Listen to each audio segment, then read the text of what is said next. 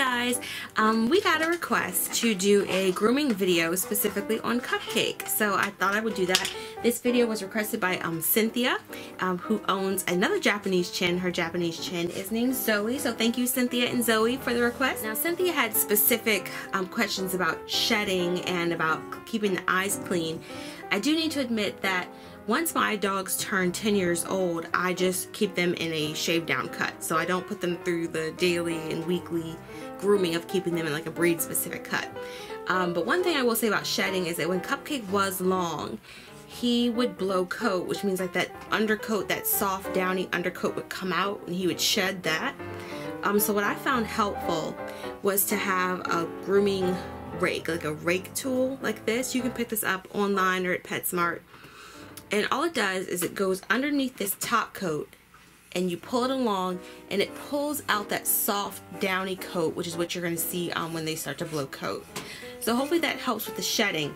Um, you can also pick up something called a Furminator and they sell that online as well and at PetSmart and it works really really well for dogs that shed um, that have a double coat.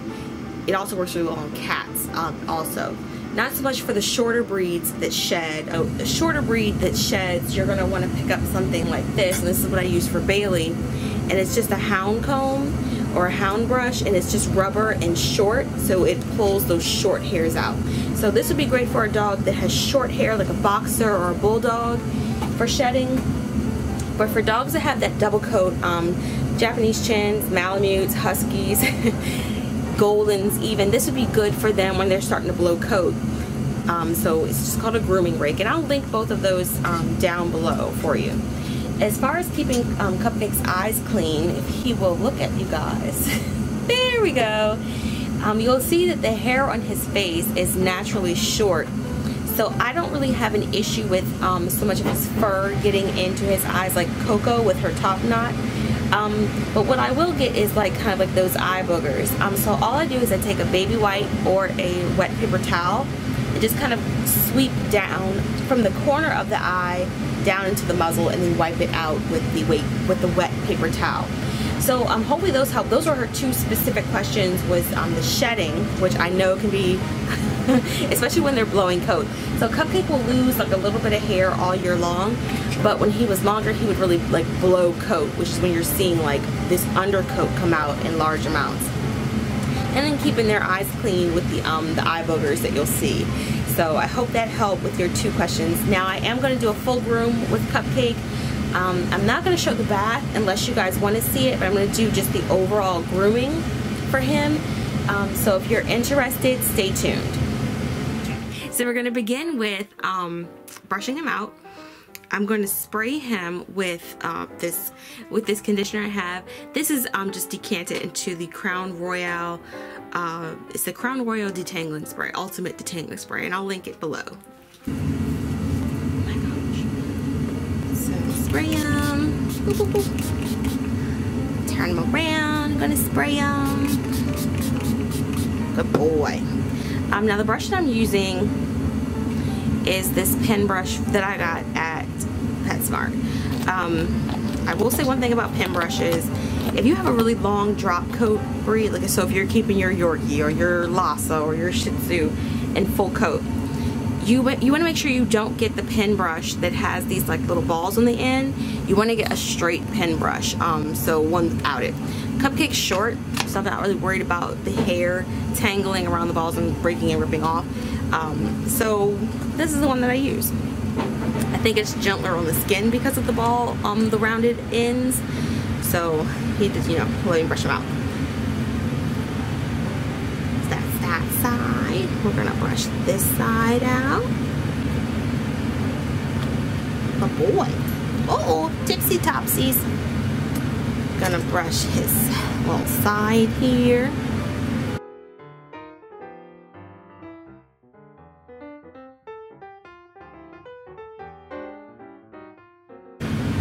So I'm just doing an overall um, brush out on him.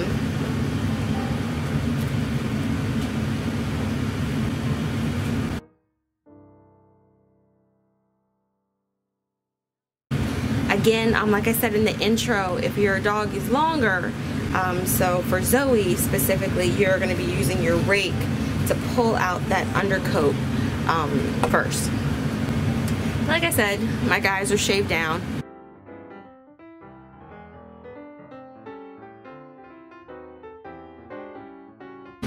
Cupcake's a little uneasy on the um, table, so he's kind of like sprawled out. he's trying to grip the table for life.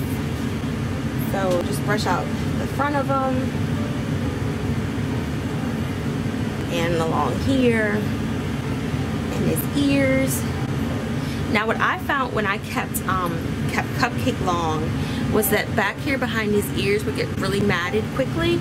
So you just want to take the time to um, really go through that area and brush him out really good. Now I'm going to pick him up and turn him around. And Cupcake hates this. He hates for his bottom to be brushed. See, he'll just keep turning. So I can't So I'm just going to kind of hold him and then brush his um, back feathers out. So there's that. And I'm going to give Cupcake a sanitary cut or hygiene clip. It's just going to be to shave the hair along his genitals and along his bottom. The clippers I'm using are the Andis. This is just a two speed. And then I'm just using the 10 blade um, to trim. I'm just going to pick him up, which he hates. and I'm going to shave all of this and I'm going to shave on his bottom too. So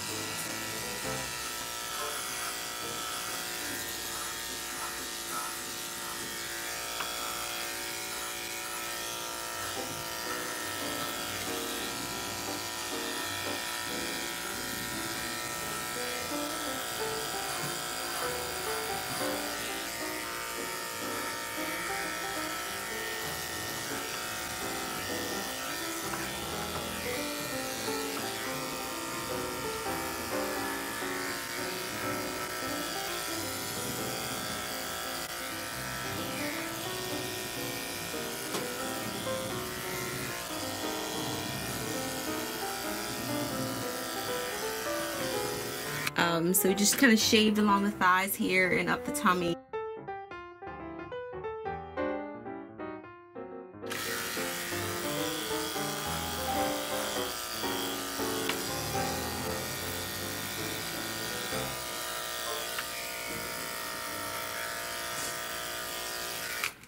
Good boy.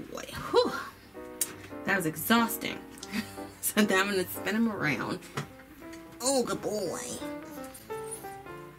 and I'm going to trim up his um, his bottom. Got your business all on YouTube, Cupcake. So I'm going to move, make sure I'm moving his tail out the way. But I'm going to shave his bottom.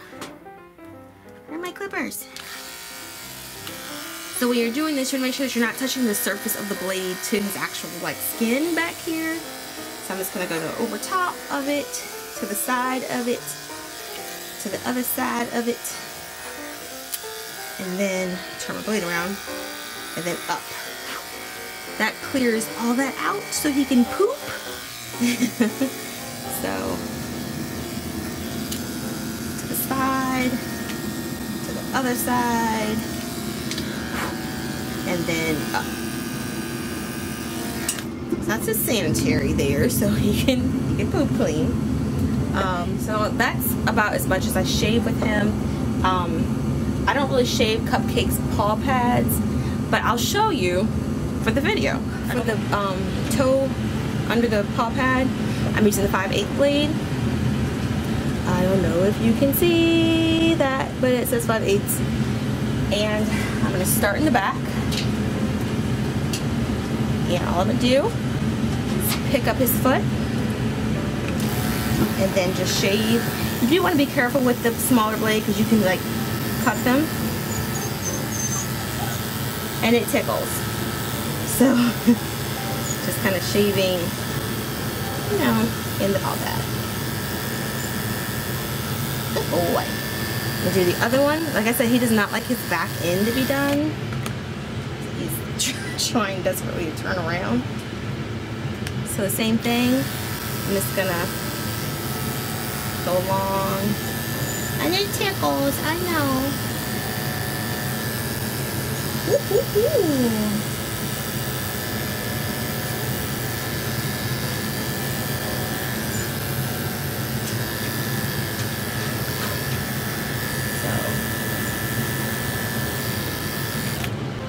there's that one. Now we're gonna do the front.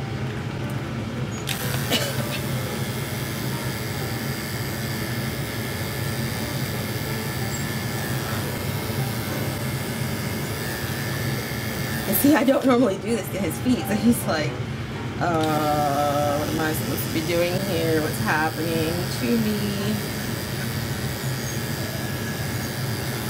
And then the last one, and then the same thing.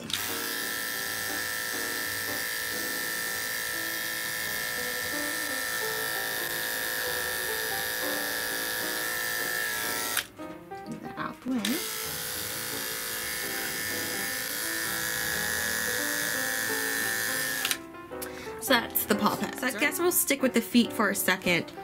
Um, so the next thing I'm gonna do, much to his chagrin, is shape up the fronts, like the top of his feet. Now, I do want to make a disclaimer. I believe for the breed, um, and a lot of other kind of spaniels, you are supposed to keep the feet messy. You are supposed to keep this like like grown out. Um, but I trim it because I like the, the way the feet look when they're neat. Um, so just keep that in mind if you want your dog to really look like the breed. I do believe chins are among the spaniels that keep the feet kind of splayed out like a cavalier. So I'm going to do mine though. So what I use for that is a slicker brush like this. Again, you can pick these up anywhere, online, pet store. And all I'm gonna do is brush the fur backwards towards like towards his leg brush it backwards and then take my curved scissors and trim up what is um sticking out. So, so you can see that is sticking out so I'm gonna trim that. Now you want to make sure you're holding the scissors like flush like kind of you don't want to go directly across I guess is the better way to say it. That way you don't cut into the foot. Like I'm not going in like this. I'm kind of angling them up.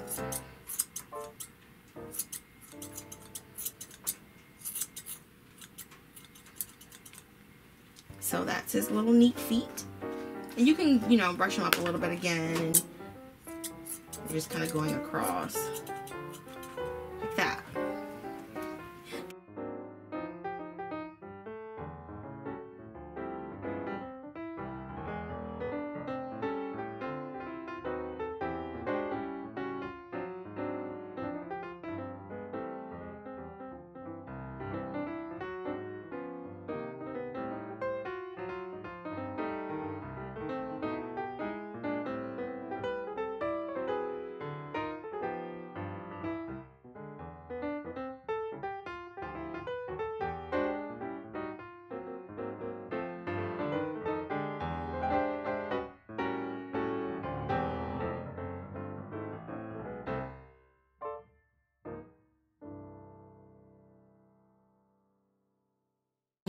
Front feet are done.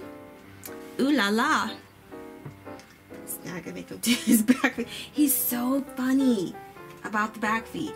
Um, now he does have luxating patellas, which means those knees pop in and out. So I'm a little bit more gentle with the range of motion I put him through. I'll make myself more uncomfortable than make him do too much with them back with his back legs.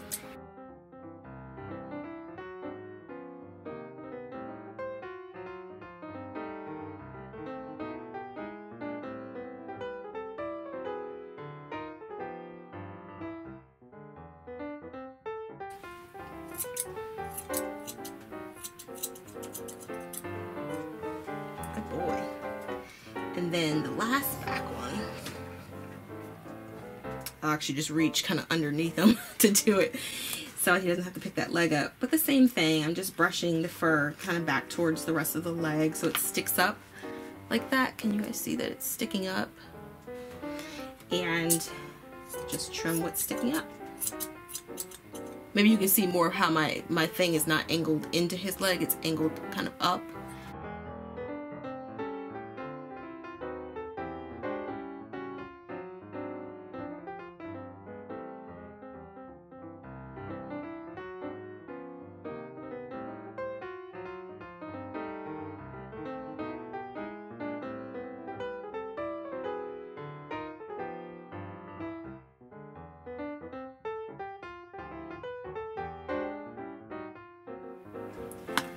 Trim his front nails. Just regular um, nail trimmers. Pretty good about this. So just trim his nails.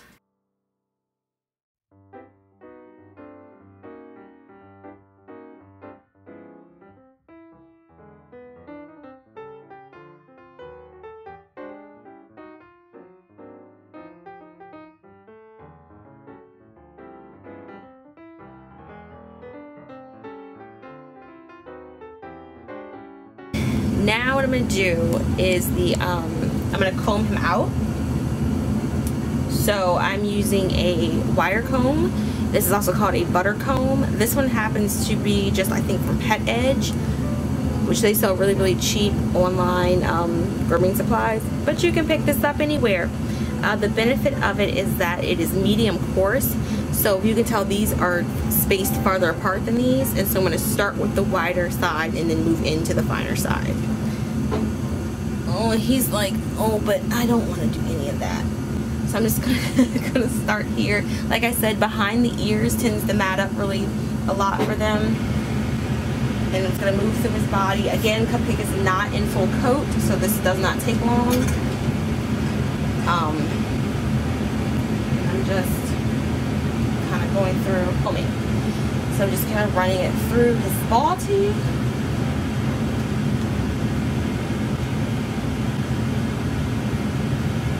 Behind these ears. If you guys could see what I was doing, that'd be great. I bet you'd like to see what I'm doing. Through these furnishings here. There's tail.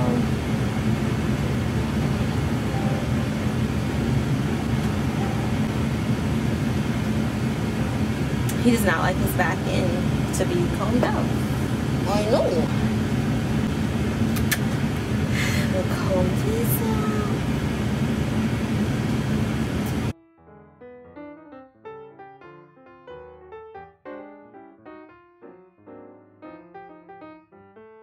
He's combed out with this wider side, I'm going to move into the finer side just to make sure we've gotten, you know, any kind of tangles there might be.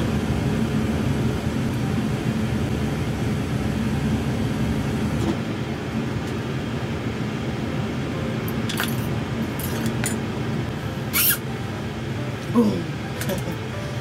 and just kind of combing it out. There we go. Now, for his furnishings, I take the foot and hold it where there is no hair. And I just kind of, I want it, it's, when it's, when he's standing, it's going to be like this. So I'm going to cut down and then cut up again, kind of, if that makes any sense. Oh, I know.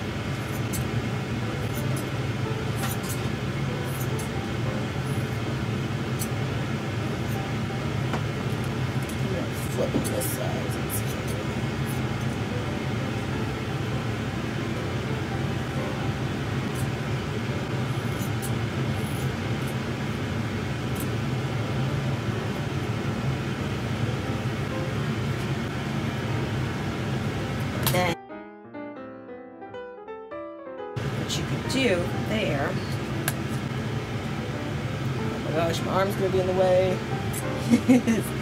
you can kind of neaten it up before he's standing too. Kind of neaten it up.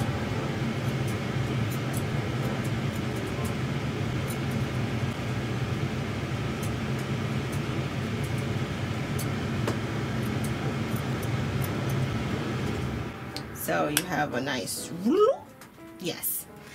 We're gonna. He's like, what? Now I tend to keep his tail shorter, um, just cause you know, it doesn't need to be full bloom. but all I do is just take it, chop the tip off. Now, find your dog's bone first. So his bone actually ends way up here. So all the rest of this is just fur. Just cut the fur. Boom! And then, I know, I know you hate this. I'm so sorry.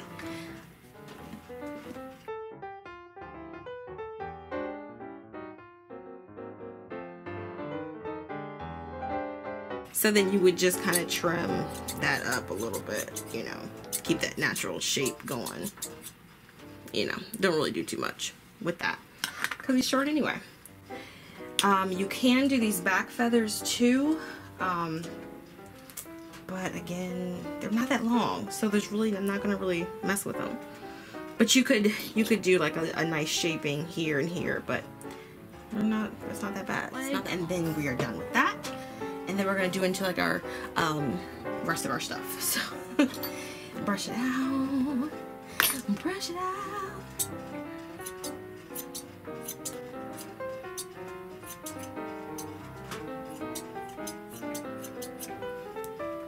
And while he's standing, we're gonna brush, we're comb.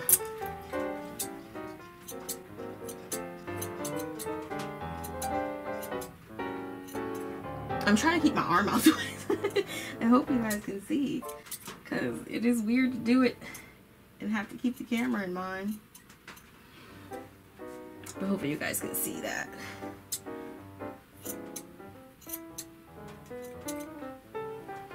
And who is being a good boy?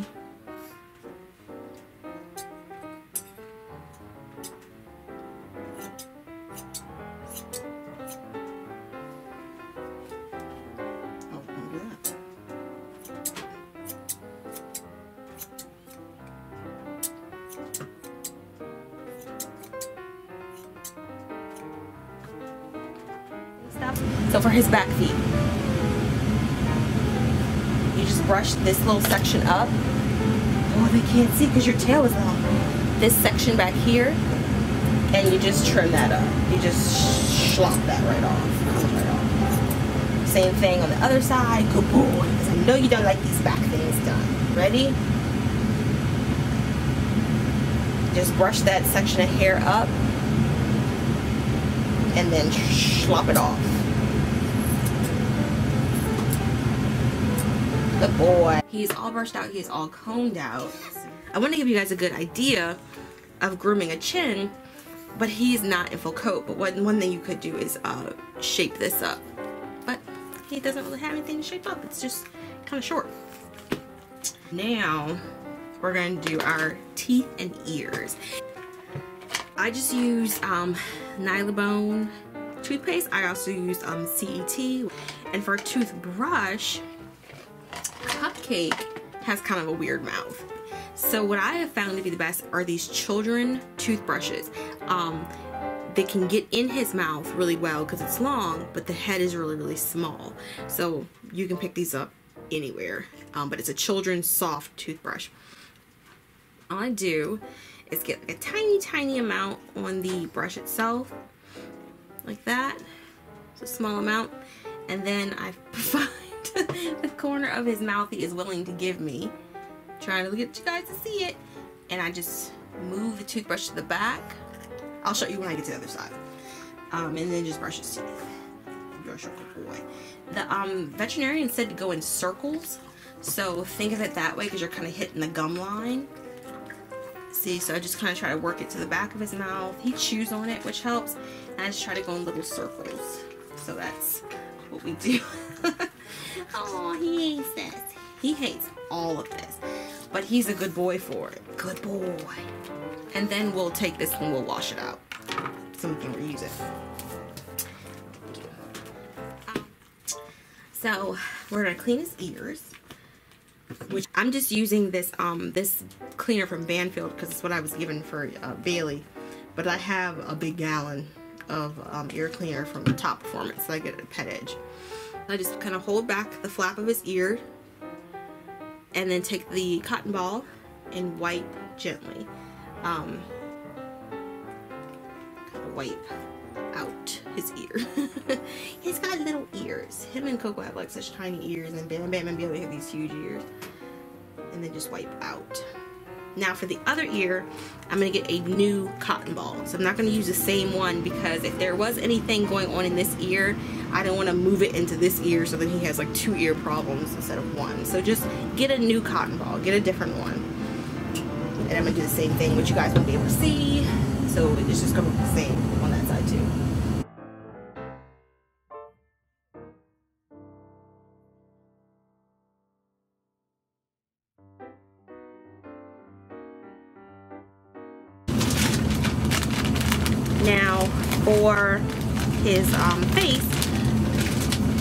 even though I'm about to bathe him, I just take a baby wipe. Um, you can do a wet paper towel too. And I'm just gonna kind of run from the corner of his eye down into his uh, muzzle, which pulls that goopity bobber or goops out. So there's that one. I'm gonna flip it over. We caught one. We caught one and I'm gonna do the other side. Gentle, gentle. He's trying to run away. And just wipe his uh, eyes out. So again, you don't want to like touch the eye. Like he's closing his eye when I'm going in to wipe. Um, but I'm just kind of sweeping from that corner of the eye down to the muzzle and then wiping it off in the muzzle. I switch them to different collars when they are um, clean so I can clean these. So this is the one that he had on. So I will now wash this one. I'll throw it in the wash. And this is his new one. So they each have two collars. So this is his, his clean one and I'm going to take the tag changer and just pop it on. So now his tags are on there on his clean collar. And this one will get washed. And I'm also going to rinse out the toothbrush. That's everything. He's going to get a bath now.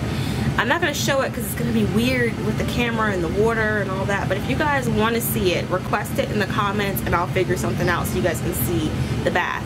Keep in mind, I am planning on doing a video of Coco's grooming, um, which because she is in full coat, is a little bit different. So, say he was a very, very brave boy.